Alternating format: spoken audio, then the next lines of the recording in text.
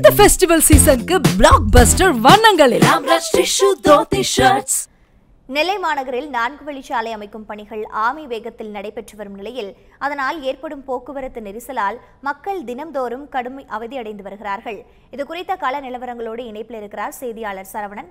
சரவணன் தற்பொழுது இந்த நான்கு வழிச்சாலை பணியானது எப்பொழுது தொடங்கப்பட்டது? இந்த சாலை பணி எப்பொழுது முடிவடையும் என்று சொல்லப்படுகிறது? இந்த சூழலில் அங்கு பொதுமக்கள் என்னென்ன மாதிரியான இன்னல்களை சந்தித்து வருகிறார்கள்? கள நிலவரங்கள்.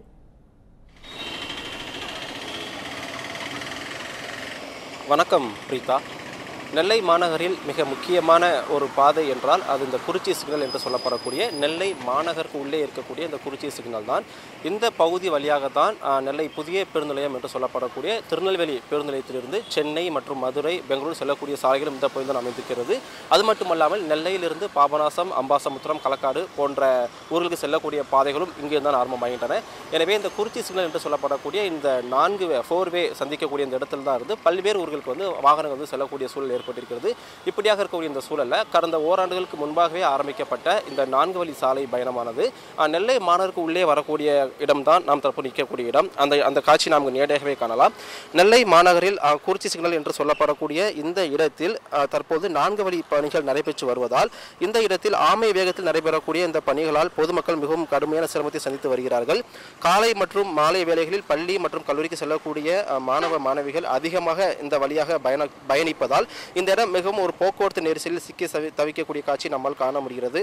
அது மட்டும் இல்லாமல் பாத இந்த பள்ளங்கள் மற்றும் அந்த குழிகள் சரியாக மூடப்படாத காரணத்தினால் இந்த இடமே வந்து ஒரு புழுதி காடாக காட்சியளிக்கிறது. எனவே இந்த வழியாக செல்லக்கூடிய இருசக்கர வாகன ஓட்டிகள் மிகவும் சிரமத்தை சந்தித்து வருகிறார்கள். அது மட்டும் இல்லாமல் இந்த பாதை வழியாக நடந்து செல்லக்கூடிய பொதுமக்களும் மிகுந்த இன்னல்களை சந்தித்து வருகிறார்கள். மிகவும் மெதுவாக தாமதமாக நடைபெற்று வரக்கூடிய இந்த பணிகளால் பொதுமக்கள் மிகவும் சிரமத்தை சந்தித்து வருகிறார்கள்.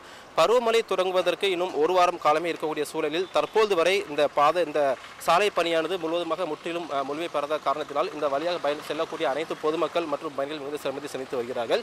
கடந்த ஓராண்டுகளுக்கு மேலாக நடைபெற்று வரக்கூடிய இந்த சாலை பணிகளை விரைந்து முடிக்க வேண்டும் என்று பொதுமக்கள் கோரிக்கை விடுத்திருக்கிறார்கள் புரிந்தா